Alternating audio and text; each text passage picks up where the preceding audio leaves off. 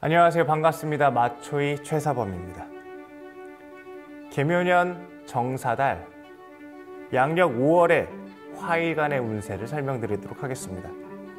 병화일간, 정화일간. 자, 지난달에 힘든 시기를 겪었죠.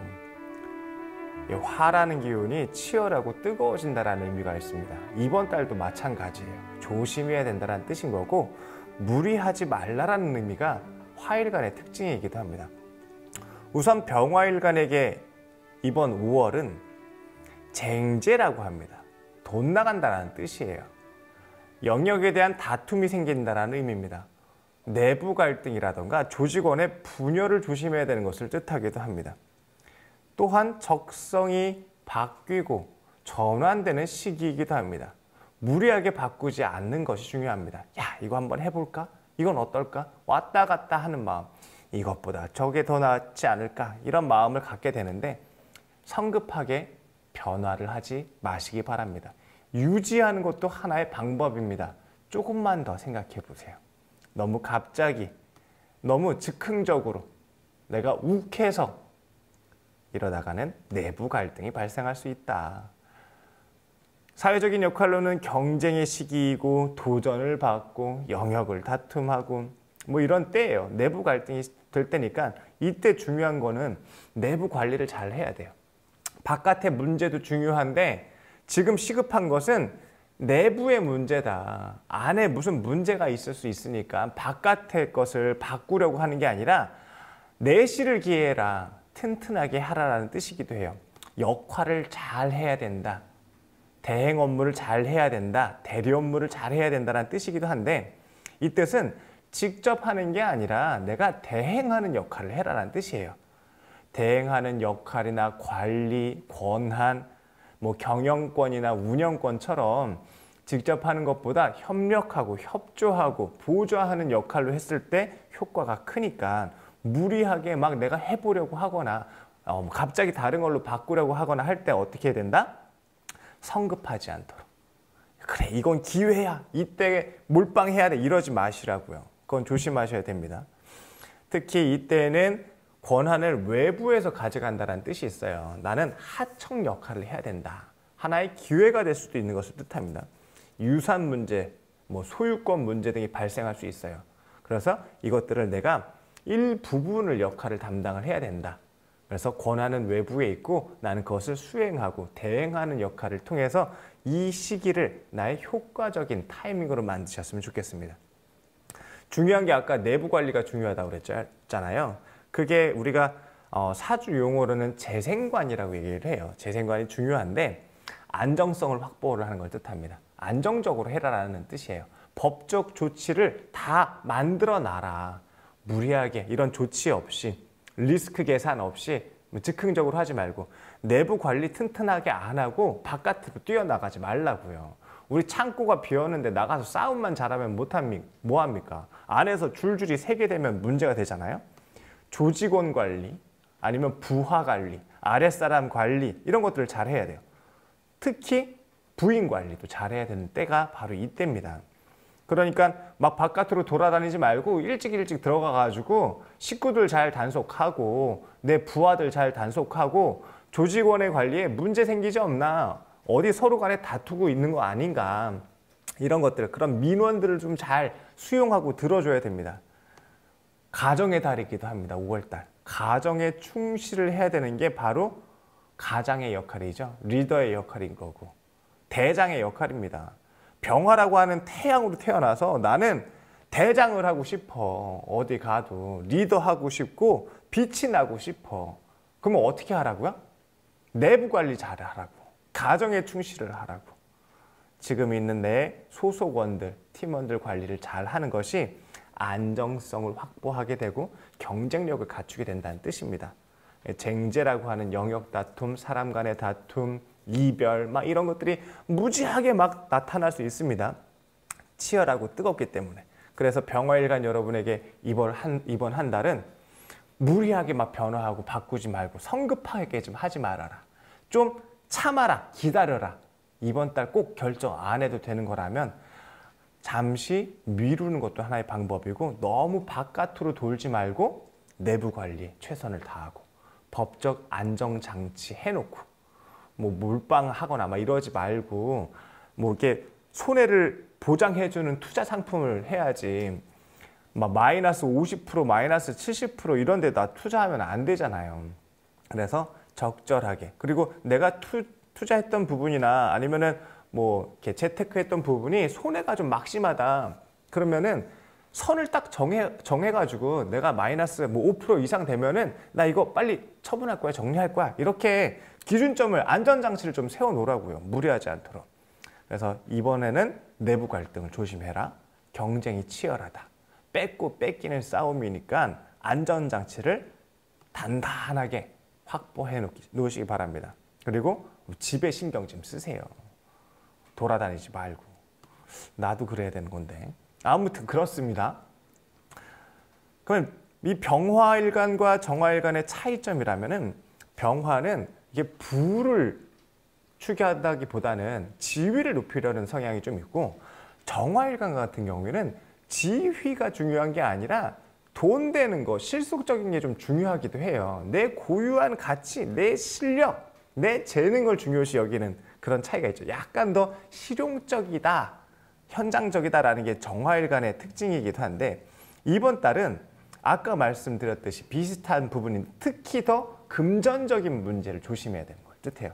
돈 문제가 발생할 수 있다. 우리 아까 전에 뭐 병화일관에게는 뭐 유산 문제라던가 소유권 문제 뭐 이런 것들을 얘기를 한다면 정화일관에게는 투자, 몰빵 이런 것들에 대해서 리스크를 좀 잘 안전장치를 해놔야 된다는 뜻이기도 해요. 특히나 이번 달은 이 비견이라는 달인데 정사달 새로운 팀을 만나다 인원을 보충하다 뭐 보호자의 역할을 해야 된다? 아니면 어려움에 내가 힘을 맞서 마, 만들어서 맞서다 방비하다 보호하다 준비하다 이런 때이기도 합니다. 특히 병화일간 정화일간에게는 역할에 대한 대행 권한 위임 이런 것들을 할 수 있는 때이기도 해요. 그래서 경영권을 내가 어, 위탁하다든가 아니면 내가 대행권을 줄 수도 있어요. 아까 협력하고 협조하라고 그랬잖아요. 병화에게는. 그러면 나는 그 협력과 협조를 받아야 됐다면 정화에게는 혼자 처리하지 말고 나눠주라라는 뜻이기도 해요. 함께 하라. 새로운 팀과 협력해라. 인원을 보충해라라는 뜻이기도 합니다. 지경을 내준다라는 의미도 있어요. 정화일관에게는. 그래서 정화일관에게 이번 달은 일단 금전적인 위험성이 좀 있다.